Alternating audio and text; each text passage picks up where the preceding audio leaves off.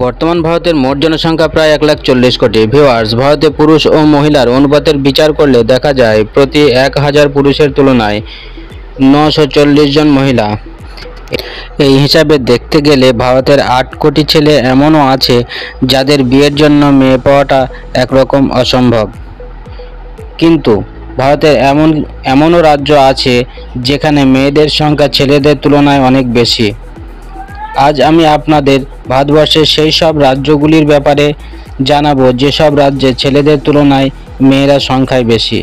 তো ভিউয়ার্স শেষ পর্যন্ত জুড়ে থাকবেন এবং ভার্সেটাইল জ্ঞান চ্যানেলটিকে সাবস্ক্রাইব করতে ভুলবেন না। ভারতের সব রাজ্যগুলির মধ্যে সবচেয়ে বেশি সংখ্যক মেয়ে কেরল রাজ্যে পাওয়া যায়। এখানে প্রতি হাজার ছেলেদের তুলনায় মেয়েদের সংখ্যা হাজার ছিয়াশি হয়ে থাকে। আজকের দিনে কেরলের মোট জনসংখ্যা প্রায় সাড়ে তিন কোটি। এই হিসাবে বিবেচনা করা হলে দেখা যায়, কেরলে ছেলেদের তুলনায় মেয়েদের সংখ্যা আঠাশ লাখ বেশি।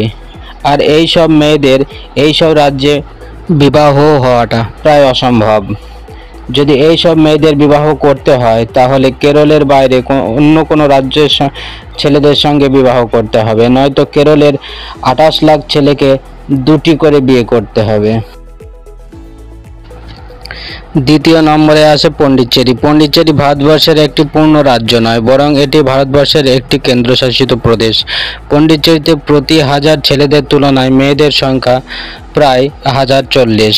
পন্ডিচেরির জনসংখ্যা হিসাবে দেখা যায়, এখানকার পঞ্চাশ হাজার মেয়েরা এমন আছে যারা ছেলেদের তুলনায় বেশি। আর পন্ডিচেরিতে এই সব মেয়েদের বিবাহ হওয়াটা অসম্ভব হতে পারে। তৃতীয় নম্বরে তামিলনাড়ু। এখানে মেয়েদের সংখ্যা ও ছেলেদের সংখ্যা প্রায় সমান হয়ে থাকে। ভারতের এই সব রাজ্যগুলি মূলত দক্ষিণ ভারত ও উত্তর পূর্ব ভারতের অংশ হয়ে থাকে।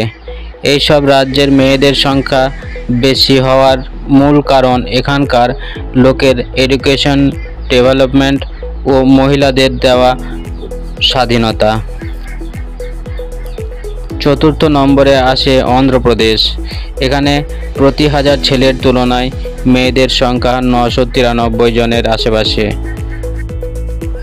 পঞ্চম নম্বরে আসে ছত্তিশগড়। এখানে প্রতি হাজার ছেলেদের তুলনায় মেয়েদের সংখ্যা নশো তিরানব্বই জনের আশেপাশে।